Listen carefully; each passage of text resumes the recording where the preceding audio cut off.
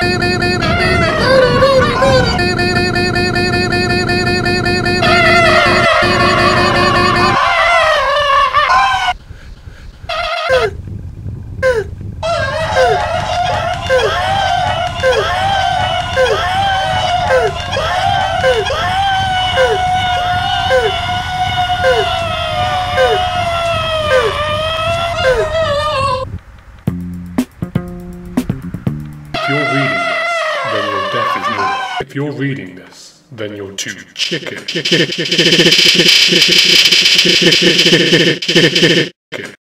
chicken.